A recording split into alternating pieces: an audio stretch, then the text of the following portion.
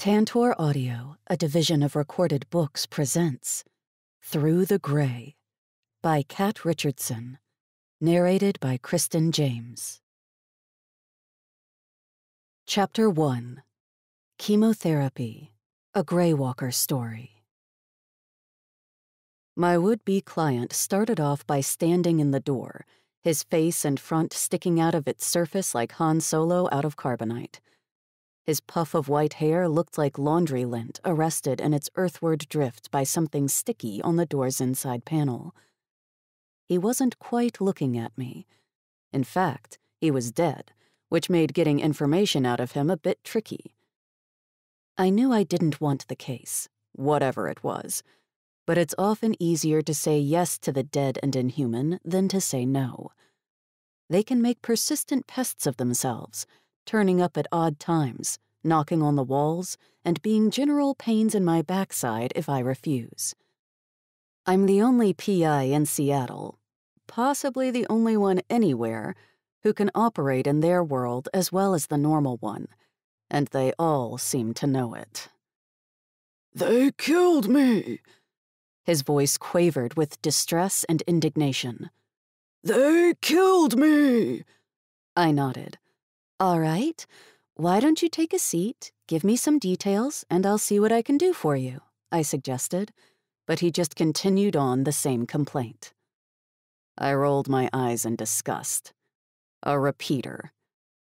Ghosts come in a lot of varieties, from the ephemeral wisps and harmless, unexplained cold spots in the hall to wraiths and revenants, conscious and alive in all but body.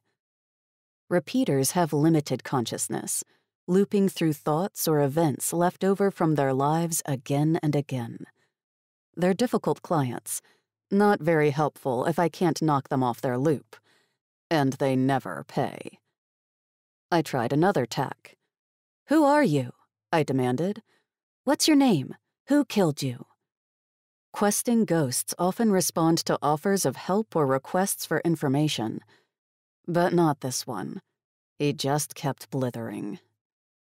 I heaved a sigh and got up to lock the door. I'd have to conduct this interview in the gray if I were to get anything useful out of him, and I'd need assured privacy to do that. I didn't want any casual clients to freak out if they dropped by. Working in the gray, the slippery overlap between the normal and the paranormal realms, is exhausting for a naturalized citizen like me, though it's native country for ghosts and such. Most people ignore the odd flicker in the corner of the eye, but I tend to go a bit ghostly when I sink into the gray, and I appear to be talking to or dancing with wisps of light and darkness. That can be unsettling. I had to stick my hand into the ghost's left arm to reach the deadbolt. A shock of cold electricity ripped up my forearm and plucked a profound cord on my ribs. I stifled the urge to gag and flicked the latch over, pulling my hand back as fast as I could. Gray walking got easier with time, but it didn't get more pleasant. The ghost jerked and stared down at his arm where I'd intersected it. Then the moment of violation ended and his gaze defocused again. I rubbed my now aching elbow, then took a deep breath and let go of my hold on the normal world. The cold, unraveling feeling starts in my chest now. When all this began, there was a curtain between me and the gray, and I'd have to go through it. Now I just let go, and the gray wells up around me. But the feeling of it starts at the knot of gray stuff that had been rammed into my chest way back at the beginning. The gray power grid snapped into view. Bright, hot lines limning the dark world in neon. The ghost in front of me was just a hazy mess afloat in a blazing wireframe world. I'd sunk a bit too far too fast. I concentrated on it, and the world became an icy overlap of misty images on top of images. Time and place stacked on each other like overlapping film projections. It was noisy with whispering and clanging that had nothing to do with anything I could see. And cold that stank, suddenly, of disinfectant over persistent mold and old death. In this mist world, I found myself face to face with a black man in his late 60s or so. He was well dressed in a suit he'd probably bought at Nordstrom and worn often to some office job. His residual concept of himself, complete with a memory of aftershave. He was a little stooped at the shoulder, but was still a tall guy. Hi, I said. He blinked at me and looked me over as if I were the ethereal one. They killed me. So you said. How about you come all the way in and sit down, and you can tell me why I should give a damn? He didn't move. You're certainly rude enough for the job, young woman. At least he'd gotten off his loop, though the tenor of the comment could have been nicer. I took half a step back before trudging across the misty floor to sit down in the gleaming shape of my desk chair. I'm the only game in town, so get to it or go away. In the gray overlap of the rooms past and present, ghosts of long gone furniture stood among the shadows of the current stuff, some sticking out of the living fog of the walls, and no more substantial than my potential client.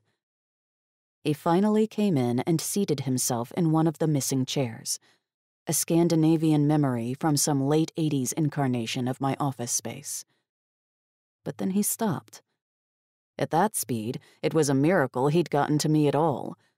I had to lean over the desk and poke him, literally, to get his attention again. They killed. Yes, I interrupted, nodding. Okay. What's your name? Francis DeFayette Parker. And you believe you were murdered? My family killed me like a dog in the pound. You can't count on ghosts to tell the truth or even to know what it is. Death doesn't impart wisdom or common sense. Who in particular? I asked. Which of your dearly beloved did the dirty deed? They killed me. I sighed. And what do you expect me to do about it? Stop it! I leaned forward and braced my arms on the unseen surface of my desk.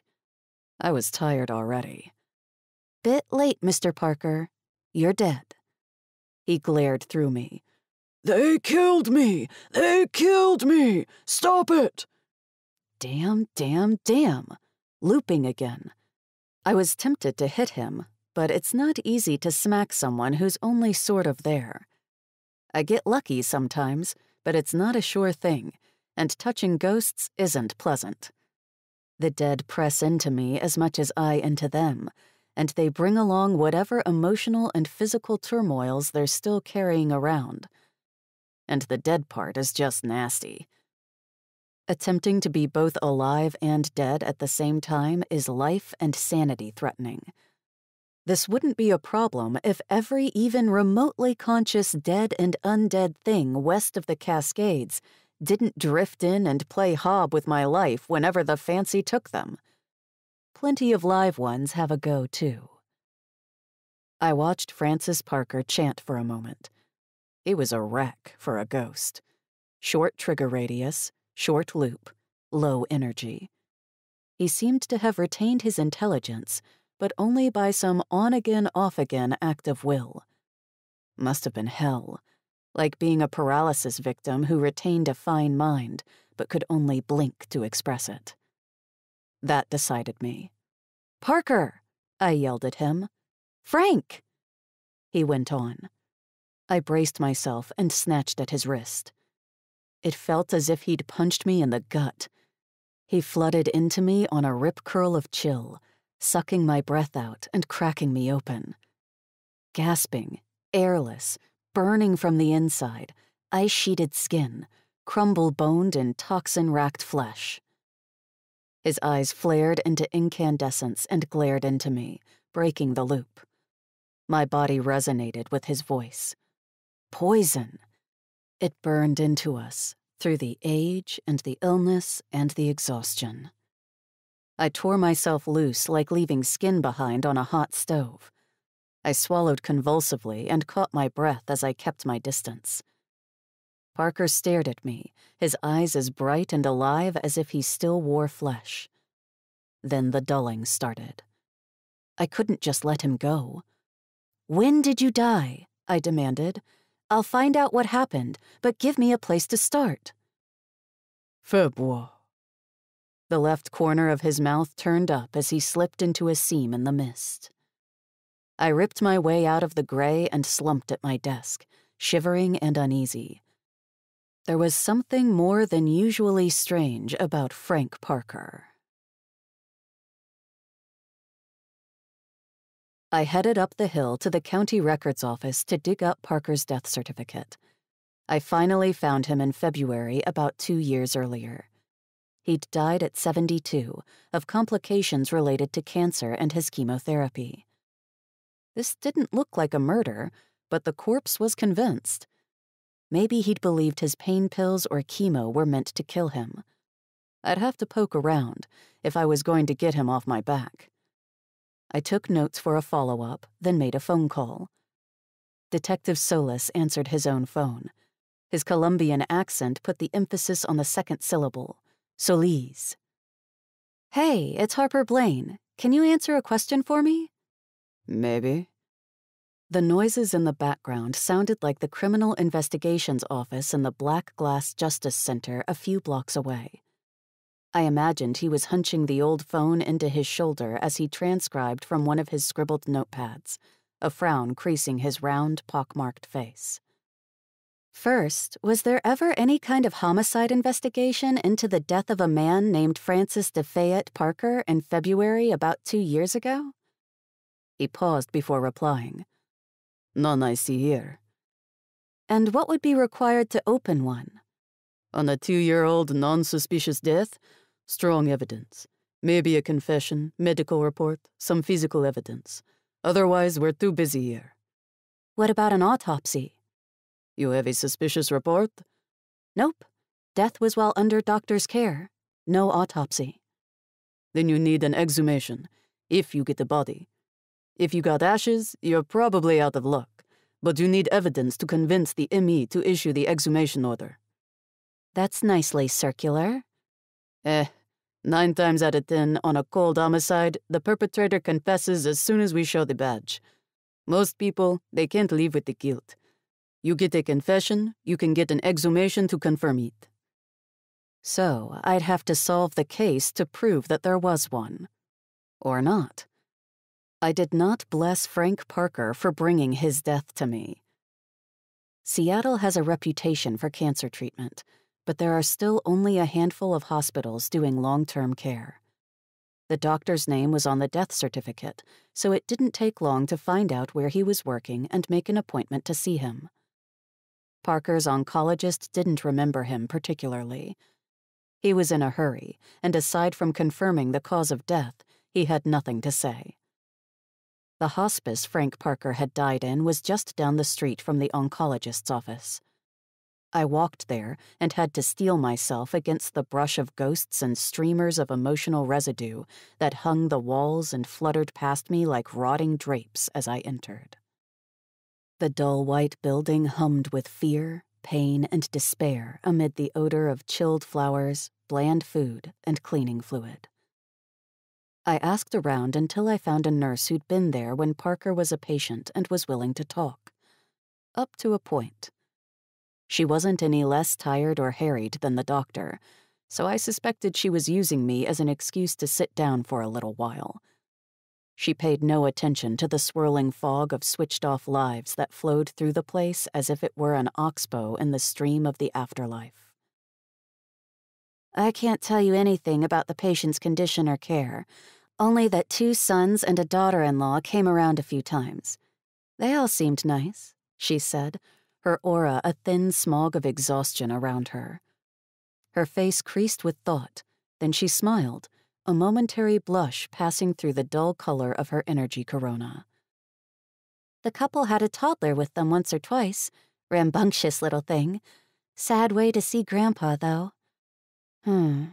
There's a note in here about the unmarried son carrying in a gun once. We asked him not to come back, but we didn't enforce it. A gun? I asked. Why? She shrugged. Who knows? Probably just a punk acting tough.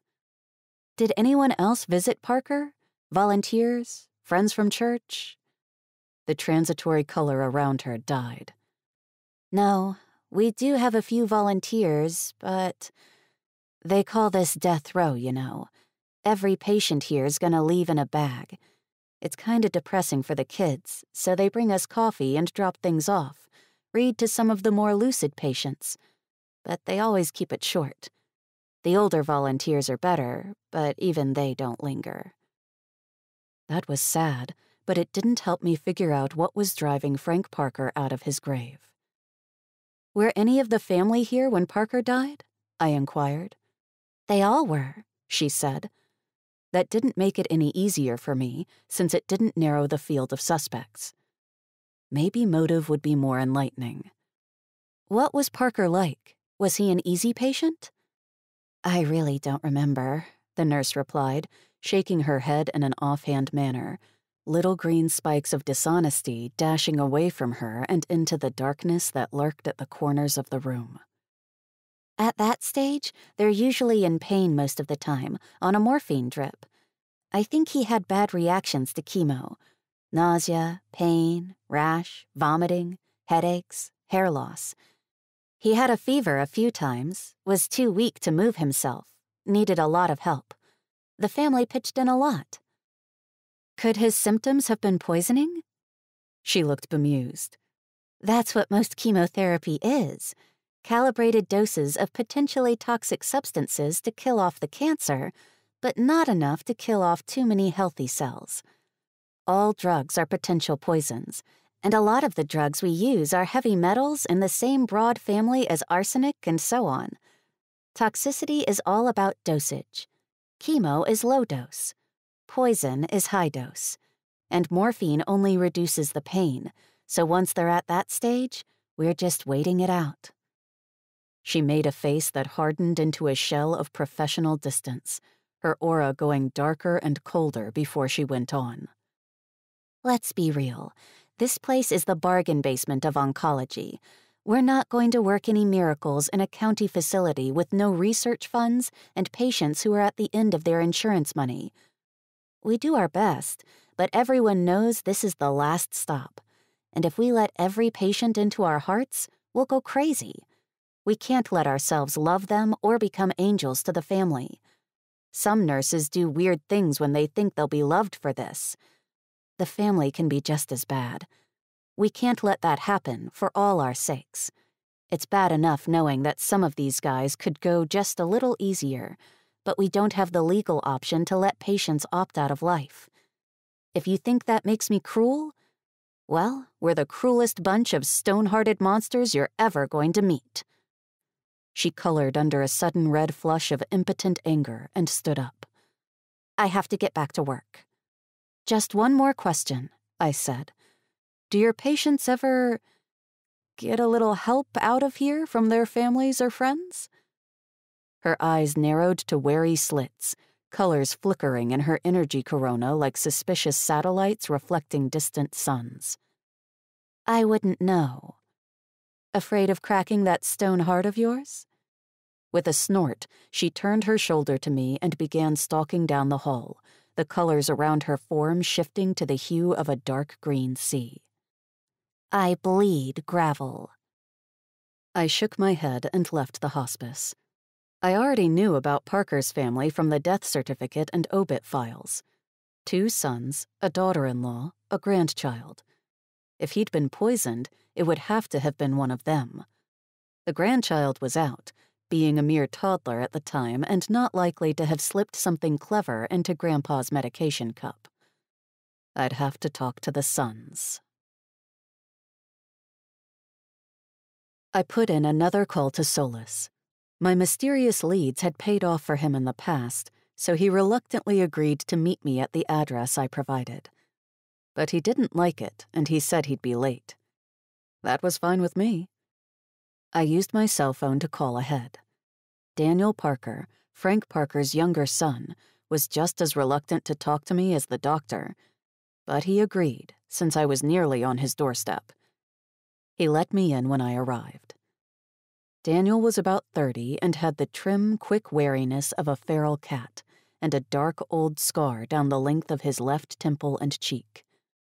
He had a curious yellow orange light around him as he ushered me in with a finger to his lips. Tanika just fell asleep. Today's been rough, so can we keep this quick and quiet? I guessed the color of his aura was anxiety over something that wasn't just me. Sure, I said, following him into a tiny home office lined with heavy tomes and stacks of discarded bar review guides, files, and scribbled yellow pads. Is Tanika your daughter? Niece, he said over his shoulder as he closed the door behind us. He took a seat near me. She's been sick a while. Been a rough couple years for all of us, you know, with Dad and all. What did you want to ask about him anyway? I wanted to ask you about what happened at the hospice. He closed his eyes and shook his head. Man, that was two years ago.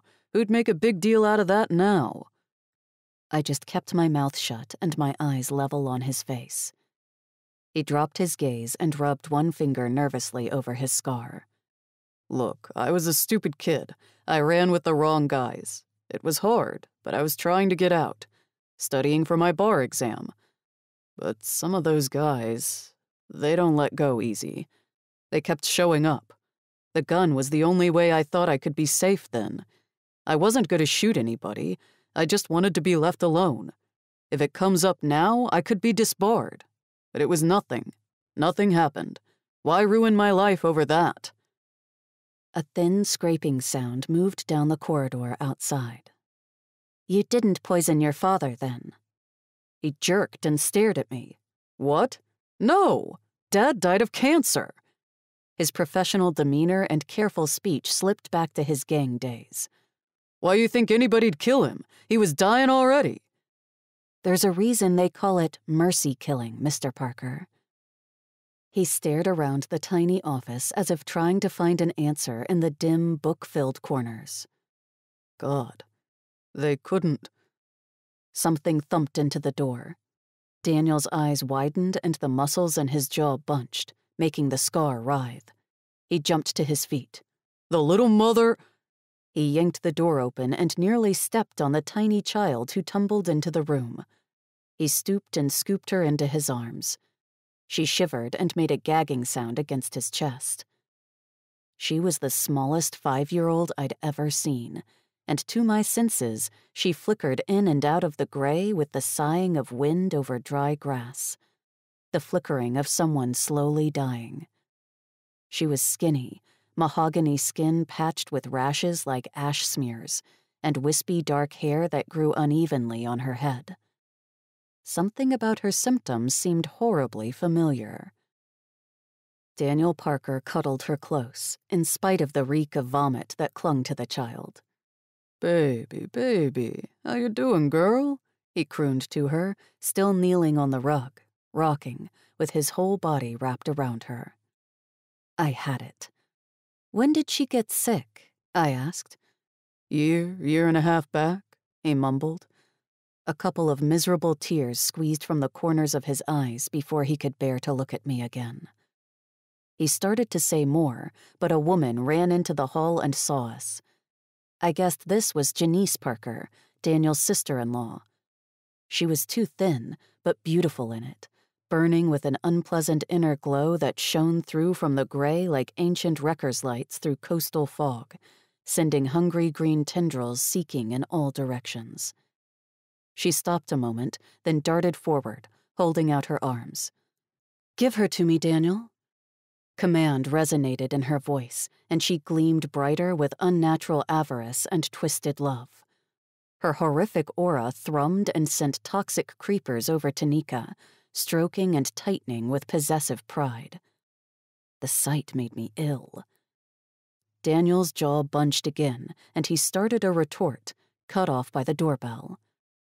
I looked Frank Parker's daughter in law in the eye, almost feeling his presence against my back, like a bad spy. That's probably the police. Answer the door. We'll take care of Tanika. I can be pretty commanding myself, and there was no way I'd let her near the girl. The ugly green threads of psychic avarice and sickness that tied her to the child told me she was responsible for Tanika's condition. I just needed some proof, which might be found in Frank Parker's remains. Janice flared her nostrils and glared at me, but she turned and went to the door to let Solis in. Daniel and I followed her into the living room. Janice jabbed an accusatory finger in my direction. That woman broke into our house. She's trying to steal my baby. Solis looked at Daniel and Tanika. Then he turned his impassive face back at me. I believe she's been poisoning this child for more than a year, I explained. My guess would be arsenic or another heavy metal. The rash and hair loss, the perverse pleasure her mother took in the girl's wasting illness, had all clicked into place with the nurse's description of Parker's final illness and I knew what must have happened. I glanced at Daniel and lifted my eyebrow. Should I go on? He gave a grim nod over Tanika's bowed head. My guess is she poisoned her father in law, Francis de Fayette Parker, also. Exhumation should prove the link. What are you saying? We all looked around at the new player standing in the open front doorway, clutching an attache case. In 30 years, he'd be a dead ringer for his father. You're Frank Parker Jr.? I asked. Yes. What's going on here? Solis fell back and to the side where he could see us all. He offered his ID to the newcomer. Detective Solis, Seattle PD homicide. I'm sorry. I'm here to arrest your wife for poisoning your daughter and your father. Frank Jr. stared at Solis in horror, then looked at his wife. Dad wanted to go, but not our little girl. Janice, why? Daniel lost it. You killed Dad? he shouted. Still holding Tanika, he started toward his older brother, his scar dancing as hard feelings flickered across his face. I could hear Solis muttering into his cell phone for backup. I grabbed Daniel by the shoulder. Don't. You're all she's got. He stopped moving, but quivered where he stood, clutching Tanika to his chest and staring at his brother and sister in law. Four of Seattle's finest arrived a few minutes later and broke up the party, arresting both Frank and Janice Parker. Family services would come later for Tanika, but for now she was still in her uncle's arms, and I thought safe. Solis shook his head as I slipped out of the press of cops. I found my client lurking by the door. He wafted behind me for a block, then stopped. I opened my cell phone and pretended to make a call. They killed you because you asked them to, didn't they? Like a dog in the pound, you said. An old sick dog that any decent human being would put out of his misery. But the law says you can't do the same for a man. Frank is a good boy, always does as he's told, he replied. And Janice? Janice used to bring me custard every day. My favorite. The oblique replies annoyed me, but there wasn't much I could do. As a repeater, Parker's communication was limited, but he made do, just as he had in my office. You gave them up to save your granddaughter, but you know it's your fault, don't you? Janice was a martyr to your illness, even while she killed you, and I'll bet she liked being admired for her apparent selflessness. The nurse on your ward warned me about that. Once you were gone, Janice just replaced you with Tanika. Parker looked past me. She's the shining star of my life, that child. Yeah, well, there's still a long road ahead for her and Daniel. You could have moved a little sooner, you rotten old corpse. He finally looked right at me. I wished he hadn't. He grabbed my elbow, his phantom fingers sinking into my bones with a jolt of energy. I felt time reel and stumble. I wrenched myself away and looked at my phone. Six minutes had vanished in an instant. All right, point taken. I stopped Janice from killing Tanika the way she did you. When you said, stop them, that's what you meant, isn't it? That's what you asked for. Are you satisfied?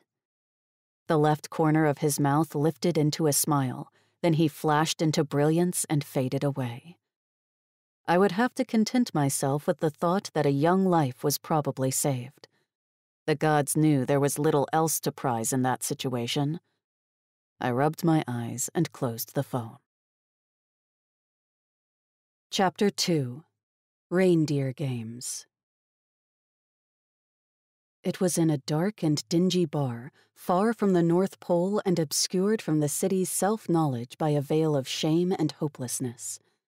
I just came in to use the phone. Honest. I sidled in, keeping a hand on my bag, and leaned on the bar, trying to attract the bartender's attention. The place was so dark that at first I didn't realize the patron next to me was a deer.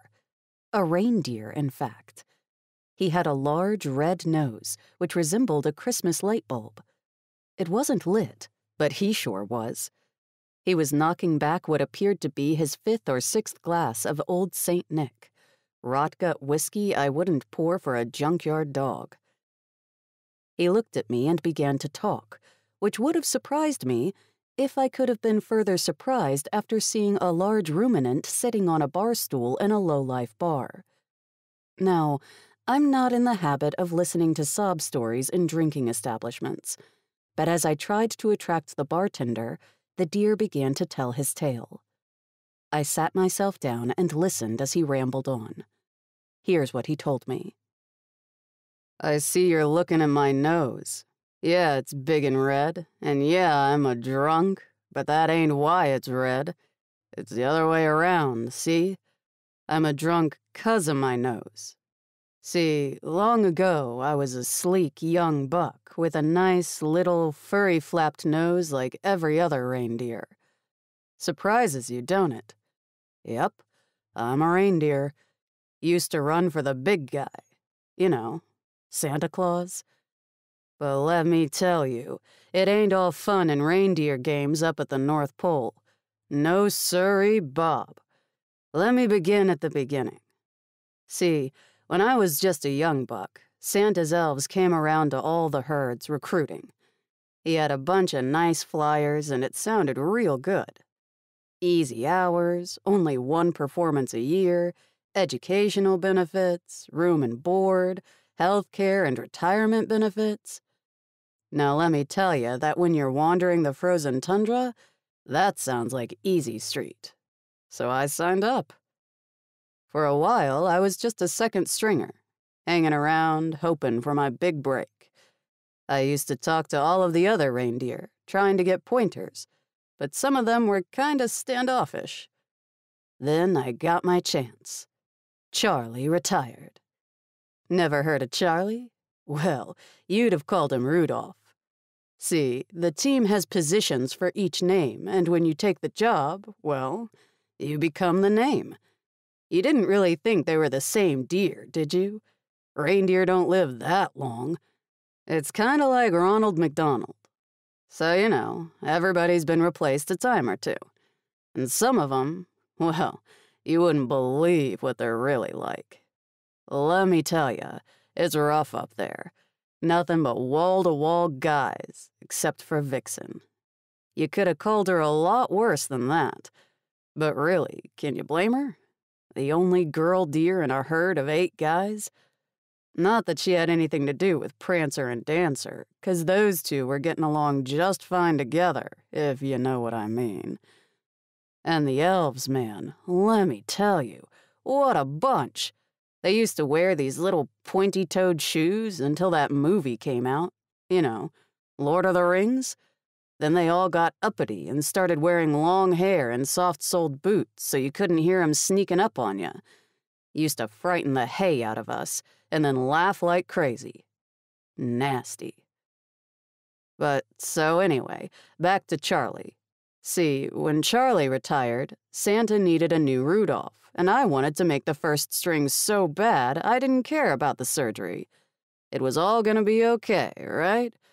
I mean, the health care was to take care of it, and I was to be Santa's number one deer. I was to be in gravy, and I might even get into Vixen's stall, if you catch my drift. Gravy. Boy, there's irony for you. So I get the surgery and everything's going pretty good. Heck, I even went for the high tech laser pointer nose option. Every year we get a nice card from Charlie from some exotic place like Madagascar or whatever. Having a wonderful time. Wish you were here. Yeah. Then, one year, things have been going okay when I get sick. So I go to call in, but I can't remember the back office number. So I call the main number. And what do I get? I get Santa's phone tree. And what do I hear? To speak to Santa, press 1. To speak to an elf, press 2. To order venison products, please stay on the line. Venison products? And suddenly it all falls into place for me. I mean, why didn't I see it before? I mean, this is the frickin' North Pole for crying out loud. How does a guy running a business on his own manage to weigh 300 pounds in that kind of weather without a supermarket nearby? Let me tell you, it sure ain't his wife's cooking. That woman could burn water. He puts away a lot of milk and cookies every Christmas, but it sure ain't enough to keep up that bulk all year. Hell no. But every year, somebody retires. Somebody like Charlie. I was walking around in a dead guy's nose. Wish you were here. Yeah, more like wish you were a hero sandwich. I needed to get out, but I was too sick to crawl. It was two days to Christmas, and I was in deep kimchi. I knew Santa's dirty secret, and I knew I'd be the next Rudolph to retire. I lay low and tried to build up my strength. But on Christmas Eve, the worst happened. There was a knock at the door, and when I opened it, I could barely see Santa for the fog that had socked us in like poisoned cotton candy. And you know what he says to me? Yeah, I can see it in your face. You know. He says, Rudolph, with your nose so bright, won't you guide my sleigh tonight? I know what I should have done. I know what the smart thing would have been, but I panicked. All I could see was that smiling, jolly old elf, fat and happy on roast leg of Charlie. Fuck you, fat man! I screamed, and I ran for the back door. I was out and across the field, into the woods, and gone in five seconds flat. But I knew they'd be coming after me. The elves. The elves with their silent boots and long streaming hair and bows. Bows, I tell ya! I should have realized it earlier. They all had bows, just like that elf in Lord of the Rings. What's his name? Legolas? That's how they got Charlie. Silently, in the night. But my nose was shining like a beacon, that treacherous, traitorous nose. The nose I thought was gonna make my fortune was leading my death right to me. So I ran for the nearest bar, and in it I found Blitzen and he was really blitzed. I called him a sissy, and he took a swing at me, and he smacked me right in the kisser. He broke my nose, and I thanked him. But the elves were already on to the place and coming through the door, so I made with the flying trick and sailed out of there. With my broken nose, I couldn't see in the fog, but neither could they, and I managed to get away. Eventually, I found a surgeon who was willing to fix my nose so it would never light up again, but it was never going to be a nice, furry reindeer nose again. I'd have to move south, where the air was warm enough to breathe.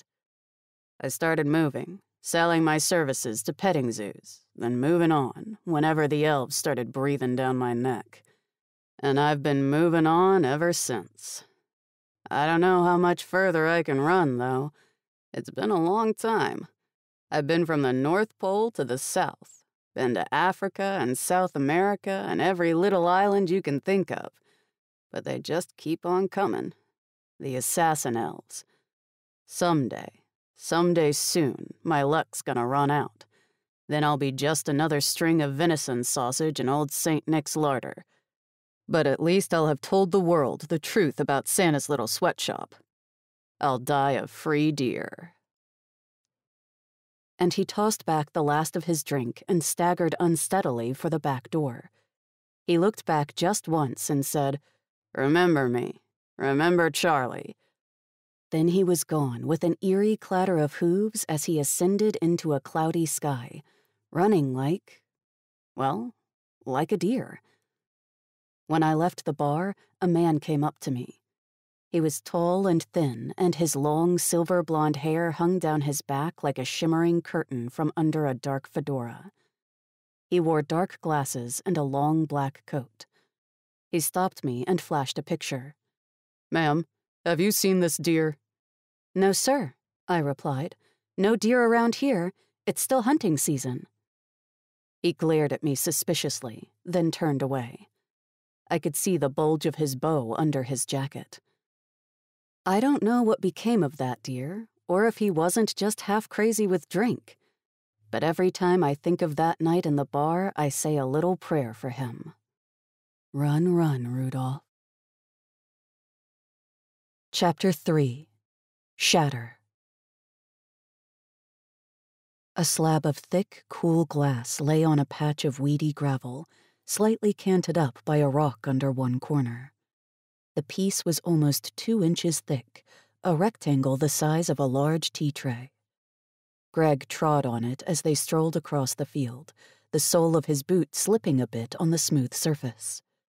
He swore and stumbled a little, putting one hand out to catch his balance. A bit of rusted wire, wrapped loosely around a post, sliced into his palm. Crap, he spat, sucking on the cut. Liss stepped over the glass and peered at him. Tetanus. Greg swallowed blood and frowned at her. Yeah, right. Nothing a wide spectrum antibiotic won't drop in its tracks. Liss rolled her eyes. Tough guy. Tough as they come. Greg looked down at his hand, gave it a flick, and then ignored the oozing wound. When you're in your right mind. Yeah, I know. I'm a freaking head case. He looked around the empty field. The remains of a low, crude fence marched across the scrubby ground at an angle, cutting the open area into two uneven triangles. He remembered the field from old wartime video. The fence, thigh high, of posts and razor wire, had been concealed in the tall grass that grew here then. A man trap. The barrier stopped the lines of fleeing refugees, tearing living flesh from the first to meet it, until it became a visible barrier of blood and horror. Those immediately behind recoiled, slowed, and became targets for the advancing troops. The tough and the desperate used the living and dying bodies of their comrades as stepping stones and fled. Those too horrified to go forward fell beside the fence and rose no more. Except as ghosts in the imagination, as memories in computer minds, displayed with agonizing clarity on view screens in schoolrooms, in small displays of personal items like tiny shrines in the cubicles most called home, in the voices of the extremely aged. Unreal to someone Greg's age, or even to Liss, ten years his senior. It was their grandparents' war. Their own was not to be fought in a realm of bullet torn meat and wet red earth but of mind space and memory and whispering electrons. Greg stared out at it, measuring the regular placement of the posts with his gaze, sweeping the field for anything interesting, anything that he could focus his mind on. Liss started to walk away from him, into the field, parallel to the fence. Greg stood his ground and watched her, crossing his arms over his chest, his fist clenched over the cut. One drop of blood slipped from his hand and painted a blade of grass at his feet. Liss's long, dark dress billowed in the breeze. It seemed like such an impractical garment, but she'd insisted on wearing it. It covered her legs and clung to them as she walked. He'd seen her body in much more detail, but he couldn't help staring at the way the wind molded the fabric to her making these legs, defined by the rush of fresh air and smoke colored fiber, different from the legs she normally wore. She walked out into the field of a thousand metallic sparkles, head down so her hair swept over her face, stripes of premature gray and white looking like tears in the dark fabric of it. She crouched down and touched something just above the ground. This is where my grandfather died, she called back. Or at least where they found him. The tag has the right number on it. Greg took a few stiff steps toward her. Another drop of blood fell unnoticed in his path. He's on the wrong side of the fence, isn't he? He did not care about her answer. He only wanted her to keep talking. The breeze moaning over the barbed wire was beginning to sound like distant sobbing. He went over the fence like the refugees did, and then one of his own shot him in the back. Why? Why? she repeated, rising to her feet. I don't know. My grandmother never said. Wouldn't the Army database say? I've never bothered to look. She turned toward him. You don't want to know? It doesn't matter. He died here, like a thousand others. That's enough for me. She shook her hair out of her face and started toward him again. You don't like this place, do you? Who would? She stopped in front of him and smiled up at his scowl. I do. Kind of. It's a living memory. Alone of many buried, it remains. And it's quiet here. Quiet. Not for me. It's an empty field where 200 soldiers with guns slaughtered 1,100 people who only wanted to run away. It's that too. See, one thing can have several faces. Depends on where you're standing and what you're looking for as to what you'll see. I see a sterile field watered with blood. The singing of the wire fence crept along his spine and for the same reason that, when you look in a mirror, you see a monster when I see a man. I am a monster, Lys. I'm useful, and you can dress me up and make me behave, but it's just a nice act, not the truth. The truth is sometimes not what you think. She walked past him. He turned, hoping they were leaving, and followed her, but she stopped beside the heavy glass. Look at it she said, pointing down. It seems solid, unmoving, hard. But did you know glass is actually a liquid? It never stops flowing, glacially slow. Come down here and look at it. She knelt down, her dress a dark pool around her. Reluctant, he stooped and looked at the massive, heavy glass slab. It was so thick it was dark green from the impurities. It glinted slightly as the sun struck it between the shadows of their bodies. The color made it seem that it must be icy to the touch. He started to extend his injured hand, then stopped. Vibrating discomfort down his back gave him pause, and he squeezed his eyes shut. They say you can reshape glass over time by forcing it to flow where you want it, Lys said. It flows so slowly Yet it does move. You could drive a nail through it without shattering it if you were just patient enough. You're like this glass, Greg. She reached out and took his hand, pressing his palm against the smooth surface of the slab. Her hand rested warm over his.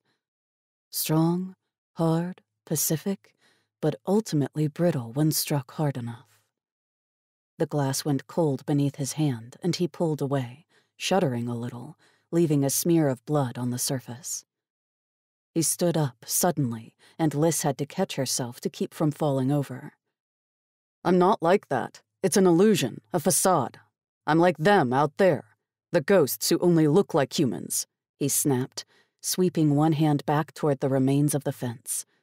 But inside, they aren't humans. They're hollow at best. At worst, monsters like me. Frustrated, Lashed by the weeping of the wind, he glared at her and strode away. She tried to scramble after him, but the force of his inner turmoil drove him too quickly for her to catch up. It raged, boiling in him.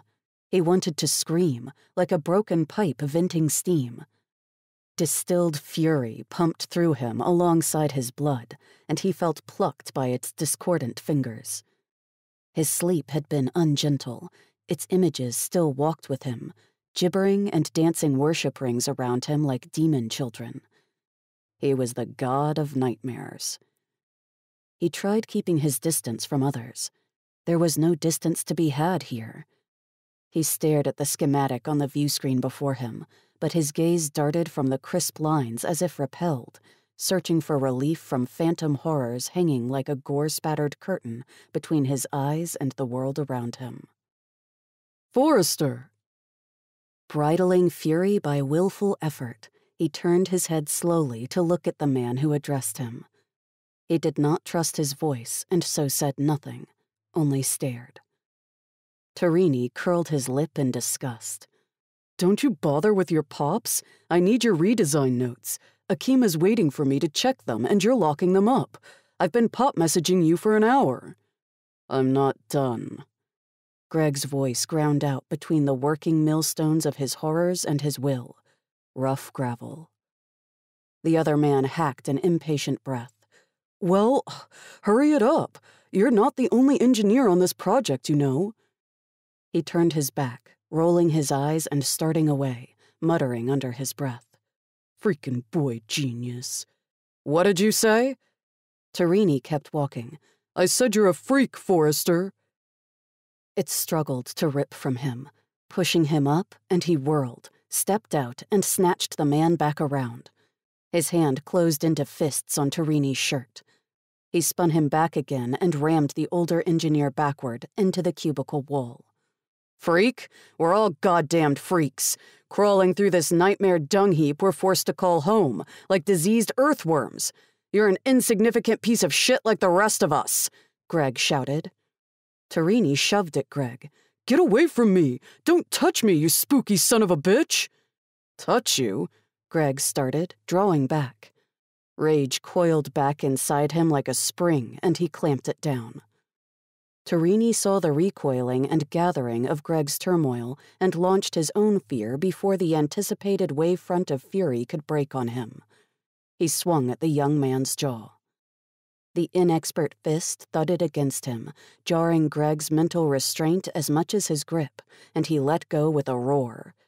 His own fist bolted into Torini's face, sending the man hard against the wall. The flimsy cubicle buckled and Torini collapsed to the floor.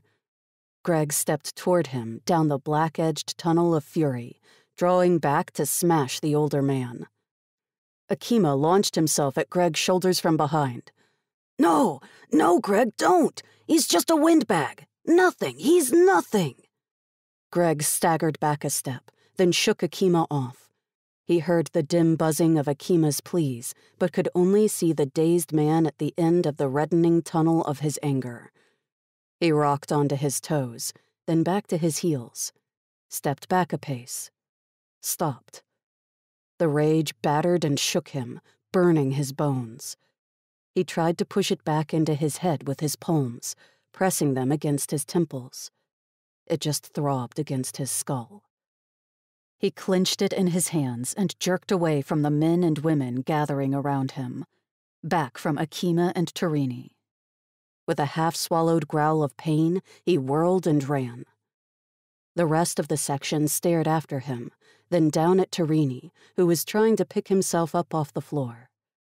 Someone moved to help the downed man, then backed away. Akima stepped forward and pulled the bloody faced Torini up. That was. That was really stupid. You okay? I mean, except for the nose? Torini nodded, covering his nose and mouth with his hand. Blood leaked between his fingers. Take yourself to medical, Akima directed. Then go get some rest. You have been working too many hours, maybe. Need some sleep, right? Another dazed nod. All right. Akima watched him teeter off, accompanied by a helpful coworker. The senior engineer looked around him. Get back to work, okay? The engineers, designers, and programmers shook themselves free of violence's spell and returned to their jobs. The cubicle lighting was turned low and yellow, indicating it was now the night cycle. Liz stared into her view screen and scrolled through still more annoying reports. She stopped at one and glanced through it. What we think of as our own feelings are most certainly influenced by our relationships with others and with our immediate contacts. In those equipped for a heightened sensitivity, it could be argued that the feelings of the group are in fact their own. She snorted and flipped to another report. The doorway chimed and she heard a foot scrape over the sill. She hated having a standard cubicle, but only married couples and special cases got privacy. At least she didn't have a roommate. Dr. Laker, I said I'd. She started, raising her head and turning in her chair to face the door. Oh. Greg loomed inside the doorway. His hands were clenched together in front of him. He frowned. Sorry. No, don't worry about it. Thought you were the boss. Come all the way in, Greg, and tell me what's on your mind. He remained frozen a moment, then lunged a step toward her and thrust out his open hand. This, this isn't healing right. A little cut is bugging you? she said, and looked down at his hand, taking it in hers. The slash across his palm looked raw and strange, the fibers of muscle beneath the skin exposing themselves in red relief. It wasn't bleeding and didn't seem to have a scab over it, though it was now several days old. She scowled and recoiled a bit, started to raise her other hand to touch the wound, then stopped. Does it hurt? No. Feels weird, but I wouldn't call it pain. Liz brushed the weal lightly with a finger. The flesh felt solid, though pebbled and hard. She could feel the outline of the scab, but couldn't see it, nor could she feel the raw track of flesh her eyes saw.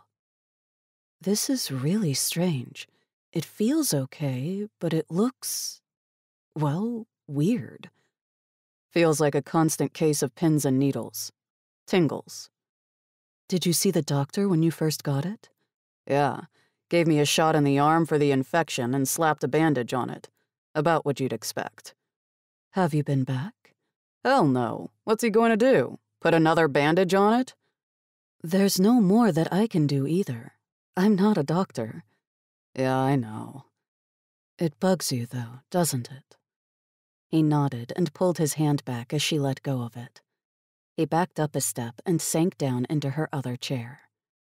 Even seated, Greg towered over her. Most of the younger ones did, though. Liz was among the children born and raised, at least through adolescence, on the surface. For some reason, the generations born in the Warrens were tall and thin, like plants seeking light. That's how Liz thought of them plants without enough light. It could as well have been that she was stunted in some way, perhaps by exposure to the pervasive residual radiation that made the surface of the Earth unsafe for full time habitation. The shielded communities of her youth had been inadequate proof against the insidious radiation and chemicals.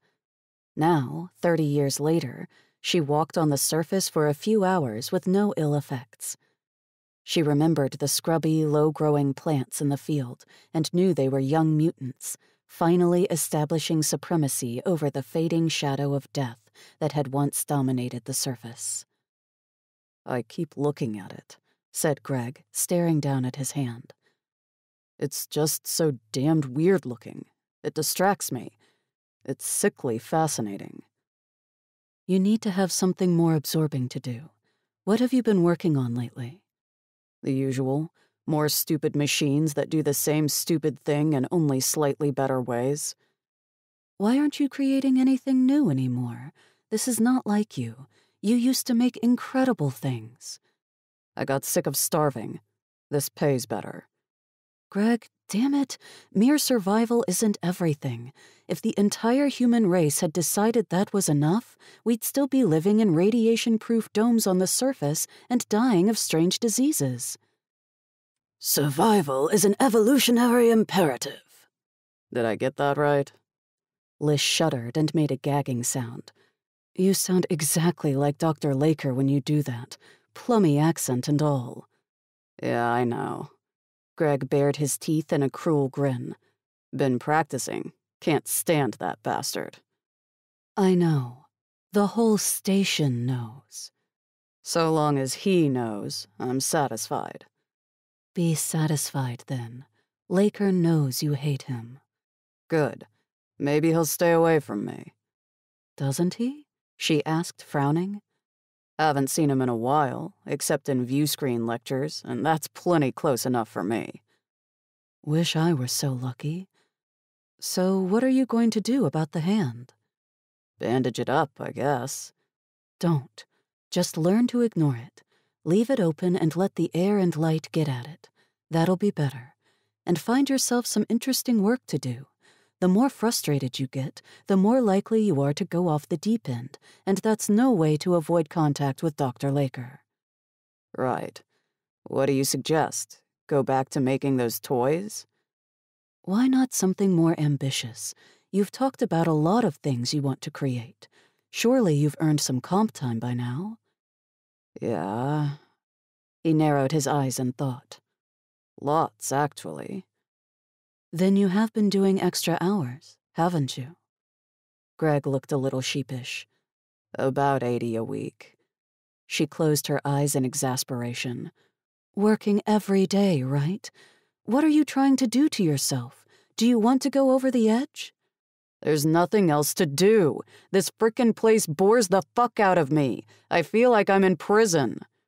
Greg, you need to cultivate a few friends. Greg jerked forward in his chair and stabbed her with a look. I have a friend. I have you. Who else do I need? Not Laker and his ilk, which is almost everybody down here. Who else is there? Buddies? A girl more. Liss suggested. Fuck that. Well, you know what I mean. It's just a complication I can't afford. Liss heaved a disgusted sigh and made a face. You have to do something. Can't stand the station and can't take the surface. What are you going to do? Hide out in the drafting system and the assembling rooms for the rest of your probably short life? Something like that. Is it good work, at least? I mean, it's no exaggeration to say you're brilliant. What damned difference does it make? If I'm busy enough, I at least don't hear them all the time. I can't stop them from getting into my head, but I don't have to give them room to make me more insane than I am. She shook her head. So you're going to work yourself to death, and it won't even be work you want to do. If you're going to burn yourself out, you might at least have some fun doing it. Fun? What is that? No, no, don't start. That's a rhetorical question. Liss stared at him with a calm face. How's the hand? Fine. Don't even notice it when I'm arguing with you. Which proves my point. It doesn't bother you when you're doing something you enjoy. You think I like to fight with you? Argue. You do like to argue with me. You love getting into these little verbal battles with me. You love trying to make me mad. Do you ever really get mad? Or do you just pretend to get mad so I can win? He asked with a grin. I never pretend. Then you're not angry with me right now? No. Exasperated, maybe, not angry. Can I unexasperate you? We hope you enjoyed this preview. To continue listening to this audiobook on Google Play Books, use the link in the video description.